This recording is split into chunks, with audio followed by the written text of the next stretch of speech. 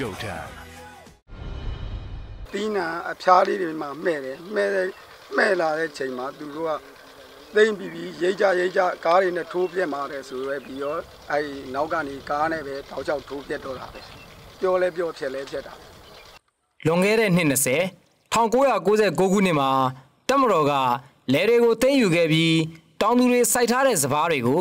ရှိတ်ဆက်တွေနဲ့ဝင်ရောက်ဖျက်ဆီးခဲ့တဲ့ပုံရိပ်တွေကိုအဲ့ဒီအချိန်က လဲသိမ်းခံသူတွေထဲမှာအပါအဝင်ဖြစ်ခဲ့တဲ့ထန်းတပင်ရွာသားကိုမိုးလင်ကပြန်ပြောပြသွားတာပါကိုမိုးလင်ဟာအဲ့ဒီမြေကိုဝယ်ယူပြီးပထမဆုံးယာတီအဖြစ်စိုက်ပျိုးထားခဲ့တာဖြစ်ပါတယ်ဝယ်ယူပြီးစတင်စိုက်ပျိုးခဲ့တဲ့ယာတီမှာပဲကိုမိုးလင်ရဲ့မြေ9ဧကဟာထန်းတပင်ရွာချောင်းကန်ရွာနဲ့ပြင်းတော်ရွာတို့ကတောင်သူ180ကျော်တို့ရဲ့ဧက880ကျော်သောမြေတွေလိုပဲတက်မတော်ကတရားဆက်ယုံစီမံကိန်းအတွက်တင်စီခဲ့ရမှာပါသွားခဲ့ပါတယ် နောက်ကလိုက်ဖြစ်တဲ့ကားတွေကသူတနေရာကိုတစ်စီးလောက်လိုက်ဖြစ်တယ်ကျွန်တော်နေရာမှာတော့တစ်စီးတည်းလာတယ်တစ်စီးတည်းလာတော့ကျတော့ကျွန်တော်တို့ခုကားမောင်းတဲ့လူကိုတနာခံတယ်အကိုကြီးကျွန်တော်တို့ရှေ့ကရိတ်ပါအောင်မယ်နောက်ကနေပြီးတော့ကြားသလောက်ရကျွန်တော်တို့ရှေ့ကနေရိတ်ပါအောင်မယ်အဲ့ရောက်တော့အကိုတို့ဖြည်းဖြည်းလေးလုပ်ပေးပါအောင်ကျွန်တော်တို့တောင်းဆိုခဲ့တနာခံပြီးတော့အဲ့ဟာလည်းမရဘူးသူတို့နောက်ကခိုင်းတဲ့ သူတို့ထက်ကြီးတဲ့လူကခိုင်းတော့ကြတော့သူတို့ကလည်းဖြက်နောက်ကနေပြင်းလိုက်ဖြက်တယ်ကျွန်တော်တို့လည်းရားသလောက်လူလူရဲရဲရိတ်တယ်ရားသလောက်နဲ့ပဲတင်းတင်းခဲ့ရတယ်ကမ်ဘလူမြို့နယ်ဇီးကုန်းမြို့အနီးမှာမြန်မာစီးပွားရေးကော်ပိုရေးရှင်းရဲ့တရားဆက်ယုံတိစောက်ရန်အတွက်တက်မတော်က1996ခုနှစ်မှာအနီးအနားရွာတွေကတောင်သူတွေပိုင်တဲ့လယ်မြေတွေကိုသိမ်းယူခဲ့တာပါ။သိမ်းစည်းစဉ်အခါတုန်းကလယ်တရေကအတွက်မြေယာကွန်ရဲ့အစ20ဖြစ်တဲ့ ကျက်2000ကိုသာရော်ကျေးအဖြစ်တောင်သူတွေကိုပေးခဲ့တဲ့အပြင်တောင်သူတွေကိုဖိအားပေးပြီးလက်မှတ်ထိုးစေခဲ့တာတွေလည်းရှိခဲ့တယ်လို့ဆိုပါတယ်။ရော်ကြီးပေးတာတော့ဦးကြီးတို့ကိုပေးတာကတေကောက်ကို2000လုံးသူတို့မယူမနေရနဲ့ကျွန်တော်ပေးခဲ့တာလေဦးကြီးတို့ကိုဇီကုန်းကောင်စီရုံးထဲမှာခေါ်တယ်ဇီကုန်းကောင်စီရုံးထဲမှာခေါ်တဲ့ခါကျတော့ဦးအောင်ကျော်သေး လက်မြေဧကဂွင်းစားဂွင်းဘိတ်ရှိပါသည်၎င်းစက်ယုံတွေက၎င်းမြေဧကတွေကမှဦးအောင်ကျော်သေးဂွင်းစားဂွင်းဘိတ်တကြားစက်ယုံတိဆောက်ရန်အတွက်မြေကြီးပူစွာလှူဒန်းပါသည်အဲ့၎င်းဦးအောင်ကျော်သေးသည်ကွင်းစားကွင်းပိတ်လောက်ကင်စားတော့ရကြာမာသေးစီဆိုပြီးမှ9ရက်ထိုးပြီးမှမထိုးမနေရနဲ့ထိုးခဲ့ရတာဦးကြီးတို့မယူချင်မနဲ့ယူခဲ့ရတာမတန်မနဲ့တည်တယ်ကာလာပေါက်စည်းမဟုတ်တဲ့ခါကျတော့မကြည့်ဘူးကြောက်လို့လာယူခဲ့ရတာသူတို့ကလည်းချင်းချောက်တယ်လေလက်မမထိုးလို့ရှိရင် အာနိုင်ငံတော်ပုံကံမှုနဲ့တရားစွဲမယ်ထောင်ချမယ်ဆိုတဲ့ခါကျတော့ဦးကြီးတို့ကမယူမဖြစ်ယူရတော့တာပဲဦးအောင်ကျော်ထေးဟာလည်းအဲ့ဒီနှစ်များစီကလေတေကကို8000လုံးနဲ့ဝယ်ယူပြီးစတင်စိုက်ပျိုးတဲ့နှစ်မှာပဲသိသိခံခဲ့ရလို့မြေတွေအပြင်သီးနှံတွေပါဆုံးရှုံးခဲ့ရသူဖြစ်ပါတယ်ဒီလက်မမထိုးဘူးကမ်းမလူမှာလိုက်ထိုးရတယ်ကမ်းမလူလိုက်ထိုးရအချိန်မှာဘယ်ယုံဘယ်ယုံထိုးရဆိုတာကျွန်တော်ငယ်ရွယ်သူဆိုတော့ကျွန်တော်မသိခဲ့ဘူး ဒါပေမဲ့မမဖြစ်မနေထိုးရမယ်ရအဲ့ဒီလိုယထာမိခြင်းလက်မထိုးယထာမမိခြင်းချုပ်ထက်ချမယ်ဆိုလို့အဖေထိုးခဲ့ရတယ်တက်မတော်ကမြေသိမ်းရမှာအဲ့ဒီလိုမျိုးလှုပ်ဆောင်တာဟာ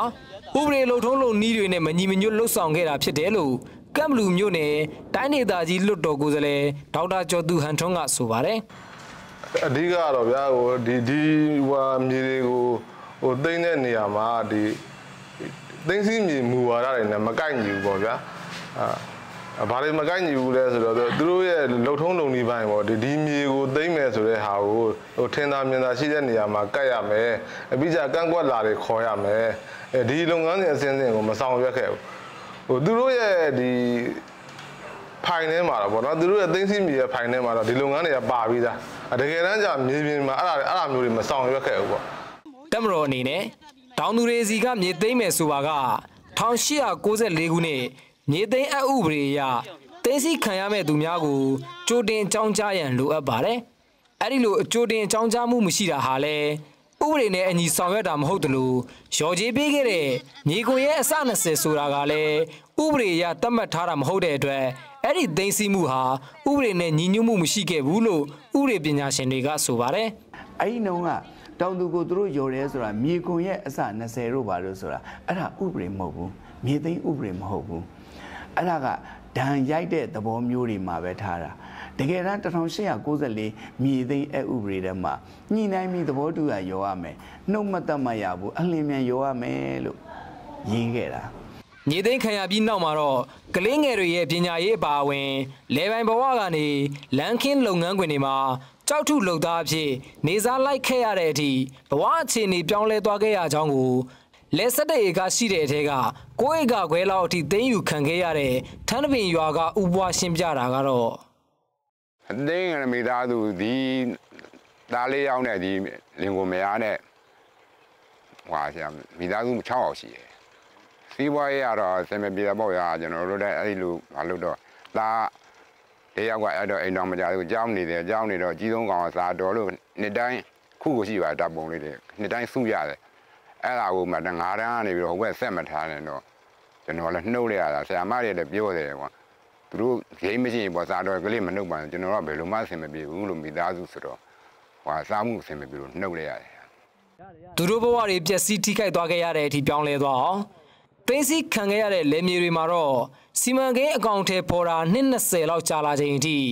ကွက်လက်တွေဖြစ်ဧက200လောက်ရှိနေတဲ့အတွက်ပြန်ရဖို့တောင်သူတွေကမျှော်လင့်တောင်းဆိုနေကြပါတယ်ကျွန်တော်တို့မြင်ရတော့ရလိမ့်မယ်တော့ထင်သားပဲဒါမသိဘူးကိုကလည်းကိုမျက်စိကိုဆိုတော့နှမျိုးအစင်းရတော့ရစီရင်တော့ရအဲ့လိုကြတော့ခုခေတ်နေရတဲ့ကြောတရေကားတော့ရောင်းလိုက်လဲကိုကိုစားမှုတောက်မှုတော်လေးအဆင်ပြေသွားတာပေါ့အဲ့လိုရစီရင်တာရရင်တော့သူတို့ ပဲဟာလည်းသူတို့ကမပေးဘူးကိုကတော့ရရင်တာပဲလို့ဖြစ်နေတာစဘာပဲလုံးမှာကျွန်တော်တို့နှမျိုးတယ်ကိုလည်းကိုမဖြစ်မနေမှုလား။တရားဆက်ရုံအနေနဲ့ကတော့အဲ့ဒီမြေတွေဟာလွတ်နေတာမဟုတ်ပဲမျိုးကြံတွေစိုက်တာမြေလဲလဲစိုက်ပျိုးတာတွေလုပ်နေတယ်လို့ဆိုပေမဲ့လည်းဒီလဲမြေတွေဟာ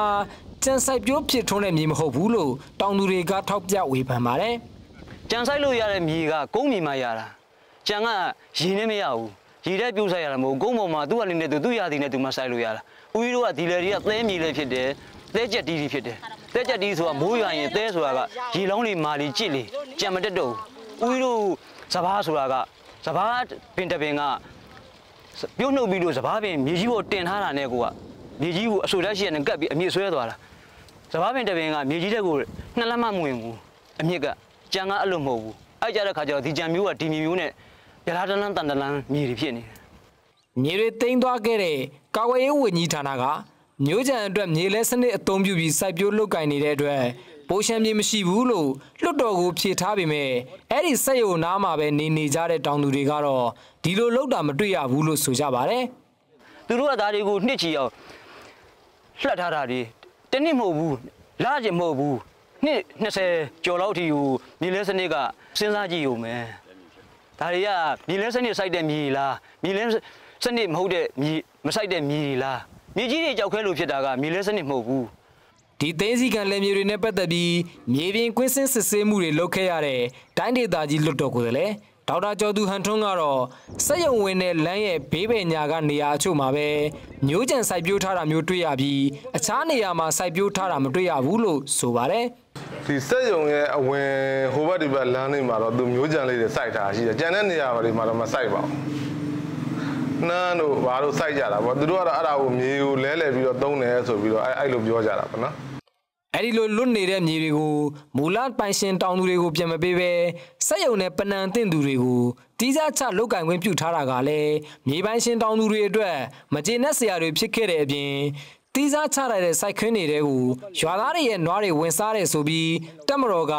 နွားတကောင်တန်ဖိုးထက်မကတဲ့ဒဏ်ငွေတွေရိုက်တာတွေလည်းရှိခဲ့တယ်လို့ရွာသားတွေကဆိုပါတယ်အဲ့ဒါတွေနဲ့ပတ်သက်ပြီးစက်ရုံဘက်ကိုမေးမြန်းမှုမြန်မာနောင်းကဇူလိုင်23ရက်နေ့ကလေးကစာတင်တောင်းဆိုခဲ့ပေမဲ့ဩဂုတ်15ရက်နေ့အထိအကြောင်းပြန်ကြားခြင်းမရှိပါဘူး။ပထမအကြိမ်လွှတ်တော်မှာဥပဒေနဲ့အညီသိမ်းခဲ့တာမဟုတ်လို့ရော်ကြေးပေးဖို့စီစဉ်နေတယ်လို့ ကာကွယ်ရေးဝန်ကြီးကဖြေကြားထားပေမဲ့ဒုတိယအကြိမ်လွှတ်တော်တက်တန်းမှာတော့ကာကွယ်ရေးဝန်ကြီးဌာနဒုတိယဝန်ကြီးကသိသိခဲ့စဉ်ကရော်ကြေးပေးခဲ့ကြောင်းမြေပုံမြေရှမ်းမရှိကြောင်းဖြေဆိုခဲ့ပါတယ်။ပိုလီယံမြေမရှိပါကြောင်း